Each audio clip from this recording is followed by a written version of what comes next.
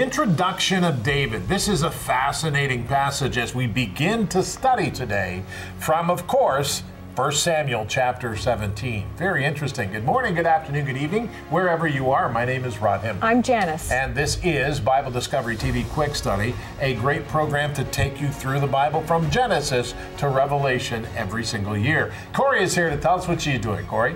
I'm looking at a city or a military fortification that overlooked the valley of Elah where David fought Goliath. All right, very good. That is excellent. And what did you do, Jen? Today we're going to talk about the landscape of life.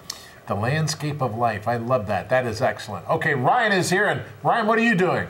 Well, today I'm attempting to answer some questions about the account of David and Goliath. In particular, why did David pick up five stones from the brook when he only really needed one? That's a good question, you know. I thought about that a lot. Well, get your Bible out and study. Turn to 1 Samuel chapter 17.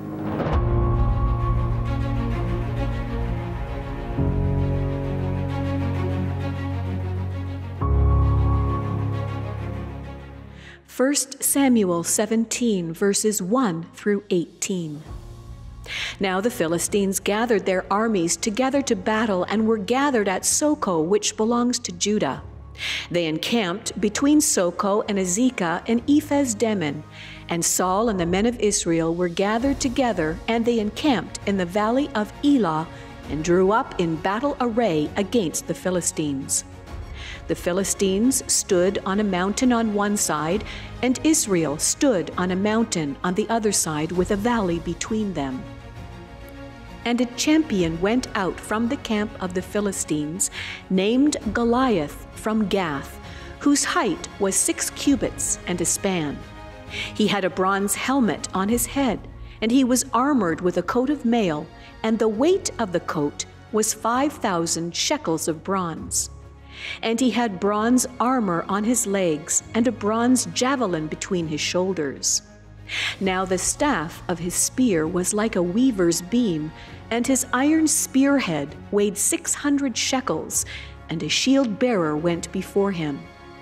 Then he stood and cried out to the armies of Israel and said to them, Why have you come out to line up for battle?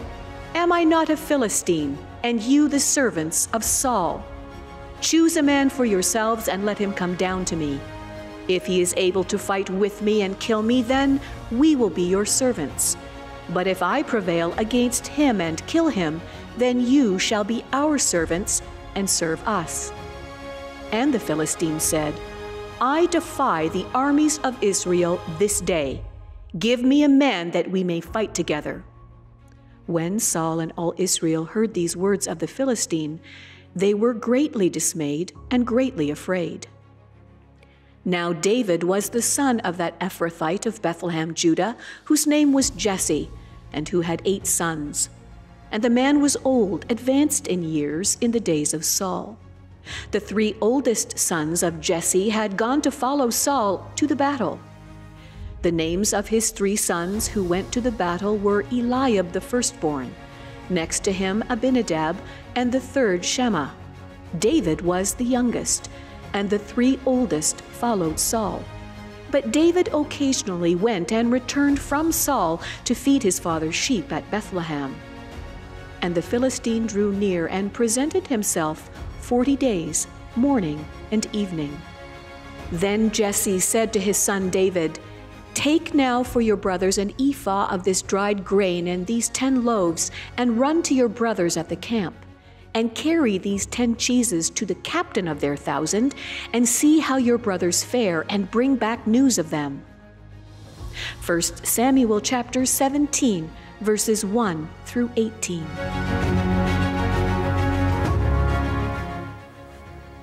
You know, there are ways that we might introduce future leaders, and then there is God's way. God shows the reader of 1 Samuel 17 who David was in his actions and his reactions to Goliath and his responses to the king, the King Saul, and the army of Israel. King Saul and Goliath were both men of selfishness, positioned themselves, they did, as such. David was a young man whose heart was after the Lord God. And he was angered that God and his nation was being insulted. Well, the story introduces David to the reader in his first public appearance of strength, a young man accessing the power of God. Remember, as we read earlier in 1 Samuel 16, David had been anointed for kingship of Israel. And God set up this narrative so that, you know, we could read it and understand what it was saying. We learn what the problems were. We learn who God had anointed for the solution to the problem, and that problem would come now with Goliath. Now, this is very interesting as we consider what God is telling us today. So, my encouragement to you is to get your Bible guide out and begin to turn to the pages today that we are focused on as we look at the introduction to David the introduction to David. Here's the Bible guide, and I would encourage you to get a hold of yours.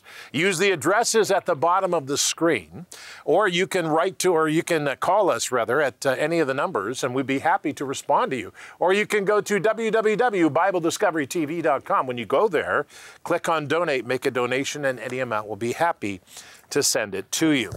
You know, today in our scripture, as we read this particular passage, I find this absolutely fascinating because God is speaking to us. We're going to read 1 Samuel 17, 1 to 18. And before we do, let's pray and ask the Lord to clear our minds so we can hear what God is saying to us. Father, I pray today in the name of Jesus Christ, by the power of the Holy Spirit, that you would open our mind that we can see how David approached and how David did things. He was doing things differently than the kings of the year, the kings of the day, and all the people thought differently. And I pray, Father, that you would help us today think differently than the society and the culture of our world. Help us to understand what you're saying to us. In Jesus' wonderful name. And we said together, Amen. Now let's go to the scripture and let's consider what God is saying to us. This is very important. 1 Samuel chapter 17 verse 1 through 11. Now the Philistines had gathered their armies together to battle. And they were gathered at Sokoth, which belongs to Judah. They encamped between Sokoth and Azekah in Ephraim Dammim. And Saul and the men of Israel were gathered together and they encamped in the valley of Elah and drew up in battle against, or battle array against, the Philistines. Now, the Philistines stood on a mountain on one side, Israel stood on a mountain on the other side, with a valley in between them. And a champion went out from the camp of the Philistines, and his name was Goliath. He was from Gath whose height, this is amazing, his height was six cubits at a span, very tall. And he had a bronze helmet on his head, and he was armed with a coat of mail. And the weight of the coat was 5,000 shekels of bronze. And he had a bronze armor on his leg and a bronze javelin between his shoulders. Now, the staff of his spear was like a weaver's beam, and his iron spearhead weighed 600 shekels, and a shine or a shield bearer went before him. And then he stood and he cried out to the armies of Israel, and he said to them, Why have you come out to line up for battle against us? I am, am I not a Philistine? And you, the servants of Saul, choose a man for yourselves and let him come down to me. And if he is able to fight with me and kill me, then we will be your servants. But if I prevail against him and kill him, you shall be our servants and serve us. And the Philistines and the, said, I defy the armies of Israel this day. Give me a man that we may fight together. Well, when Saul and all of Israel heard these words, the words of the Philistines, they were dismayed and greatly afraid, fear fear was there. See, Goliath was sent to taunt Israel and build fear. And the fear of who they were as a nation was the key component to the enemy's message. The enemy always designs fear for us, he wants us to be afraid. And that's really interesting because fear is a very powerful motivator. I mean, fear can motivate you to do a lot of things. If you think about it, But God says, Do not fear, have faith, for the just shall live by faith. What does that mean? Well, for the answer to that, we have to go back to the scripture. Let's go back. This is 1 Samuel 17, verses 12 to 15. It says, Now David was the son of that Ephraimite of Bethlehem of Judah, whose name was Jesse, and who had eight sons. And the man was old, advanced in years in the days of Saul. And the three oldest sons of Jesse had gone to follow Saul in battle. The names of his three sons who went to battle were Eliab, the firstborn, next to him Abinadab, and the third Shammah. David was the youngest, and the three oldest followed Saul. But David occasionally went and returned from Saul to feed his father's sheep at Bethlehem. Now, this is interesting because we learn something here. David was not involved in Saul's army. See, God had training in a different way for David. He was a shepherd watching over the sheep. Now, God's training is always different than man's training, always. This is something we need to understand. Man's training, or the training of formal uh, institutionalized Bible schools or, or seminaries, or, it's not necessarily, not necessarily, it could be, but it's not necessarily the training of God. Beloved, we need to understand that. God trains us differently. Now, let's go back to the scripture because this gets even better. Here is 1 Samuel 17, verse 16 to 18. And the Philistine drew near the and presented himself 40 days, mornings and evenings. And then Jesse said to his son David, Take now for your brothers an ephah of this dried grain and these 10 loaves, and run to your brother's camp, and carry these 10 cheeses to the captain of the thousand, and see how your brothers fare, and bring back the news of them. Now, you know the story. But this is very interesting. David was a messenger to his father. God always gets us involved in unusual ways. David became involved because someone had to answer Goliath. Someone had to answer Goliath. And I'll tell you something, the result is obvious. Think everybody knows the story. David was a shepherd and he tried on Saul's armor and it didn't work. He said, I'm just going to go out there with my sling. He picks up rocks, plural, and he goes out there. Why did he pick up five? Well, we'll talk about that later. But the idea is that David succeeded in defeating Goliath because God had called David. See, God trains us differently, beloved. God trains us so that we are ready to speak His message. That's very important. We need to hear that today, even if we don't believe in Jesus Christ. We need to understand that God is different. He's not the same old cultural God, He is the God of everything. This is very important for us to hear and understand today.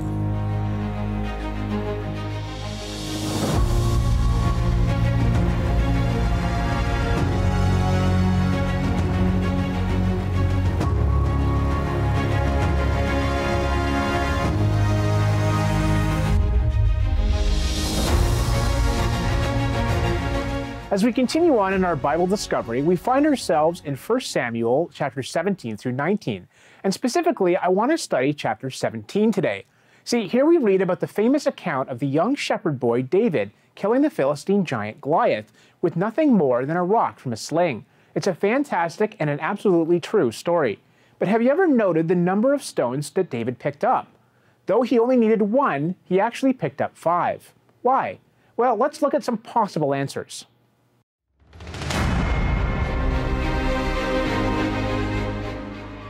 In 1 Samuel 17 is recorded one of the most famous stories in all of the Bible David and Goliath. In this chapter, we find Israel in the midst of battle with their sworn enemy, the Philistines. The Philistine giant Goliath, who is called in Hebrew the man between the two hosts, speaks much against Israel and their God, saying, Why have you come out to line up for battle? Am I not a Philistine and you the servants of Saul? Choose a man for yourselves and let him come down to me. If he is able to fight with me and kill me, then we will be your servants. But if I prevail against him and kill him, then you shall be our servants and serve us. I defy the armies of Israel this day. Give me a man that we may fight together. The shepherd boy, David, who is only there on a resupply mission, hears the words of the giant and becomes greatly annoyed, asking who is this uncircumcised Philistine that he should defy the armies of the living God. Then, in an amazing act of faith, David volunteers himself to kill this giant, who was probably well over 9 feet in height. However, rather than coming to battle with armor and a sword, the Bible reports that he took his staff in his hand, and he chose for himself five smooth stones from the brook, and put them in a shepherd's bag, in a pouch which he had, and his sling was in his hand. David then battles the Philistine, and slings one stone so hard that it not only strikes Goliath in the forehead, but it sinks into it. The giant was dead. A notable mystery here is why David took five stones when he only needed one. Many Bible commentaries suggest that David was worried that he might miss. However, this seems rather inconsistent with David's character, since he was a man of incredible faith who trusted in God with all of his heart. Furthermore, he was an accomplished shepherd who knew how to make precise shots with the sling. Another possibility that some have pointed out is that David was not promised that one stone would kill the giant. A third possibility is revealed in 2 Samuel 21, which tells us that the father of Goliath was a giant who had five sons, all of whom fought for the Philistines. Perhaps David was ready to kill all five sons if necessary. Whatever the true reason was, it is clear that David had complete faith in his God.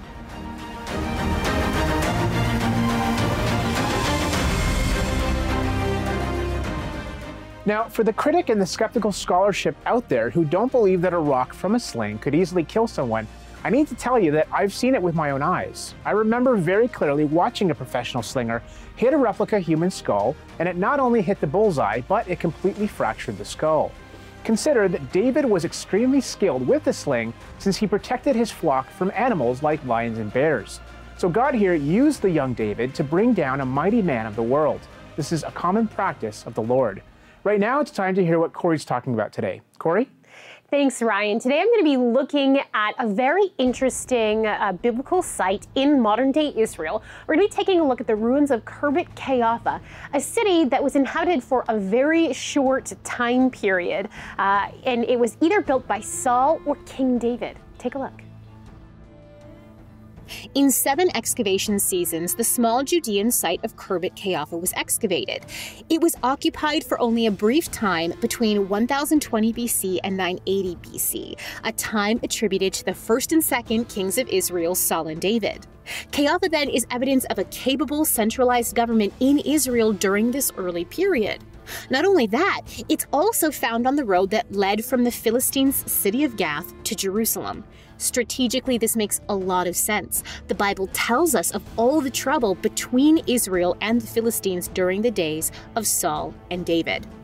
Though Qeiyafa was small, it was fortified with a 13 foot thick stone wall and uniquely had two fortified gates. These gates, the city's location and date all point to one biblical identification for the city, Shaaraim which in Hebrew means two gates. Historically, this site would have been witness to one of the most famous biblical events, the fight of David and Goliath. David standing for Israel, Goliath standing for Philistine, fought in the Elah Valley that Qeiyafa overlooks. Being so close to the Philistine border has caused archaeologists to carefully consider who Qeiyafa belonged to, and the evidence is firmly on the side of Israel. The main entrance faced Jerusalem, no pig bones were found, the style of the wall and pottery were common in Judah, and a now famous early Hebrew inscription was found. It's called the Qeiyafa Ostracon, and it's the largest inscription found at the site. Its five lines of Proto Canaanite script have been identified as ancient Hebrew. Hebrew, and though it can't be fully deciphered, this ink on pottery records something in the realm of ethics and justice, piquing the interest of the Bible reader and simultaneously providing evidence for the literacy of early Israel. During the last season of excavation at Qeiyafa, archaeologists uncovered what they call a palatial building at its very center. This building could have been several stories high and was likely the city's administrative center, overlooking the site and boasting a commanding view of the entire Elah Valley.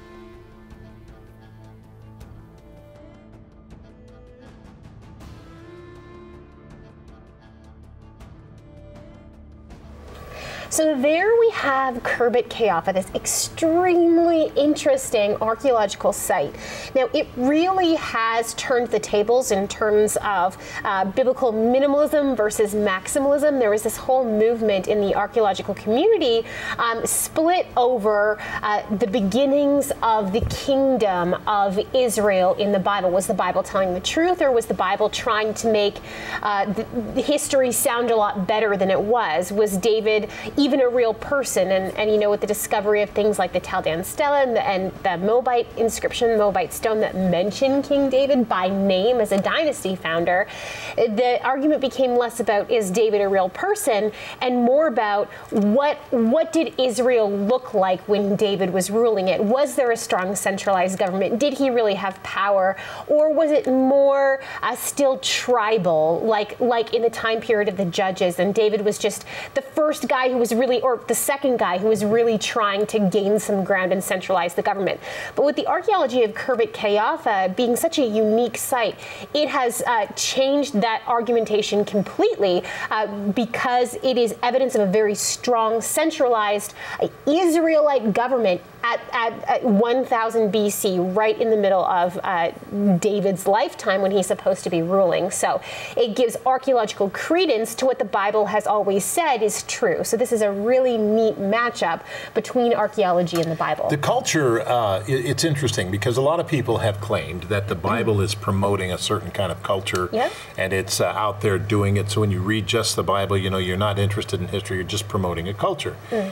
But the culture is so very different in history that we don't, like our culture today is very different than the culture was back when David was king. Mm-hmm. And so the answer to that question is, and there were different cultures around the world, mm-hmm. you know, and all of that. Even so, within Israel. Well, of course cultures, there were. Yeah. Absolutely. I mean, Israel was made up of originally 12 tribes yep. that had come there in Joshua and all that. But it's important for us to recognize that God speaks through every culture.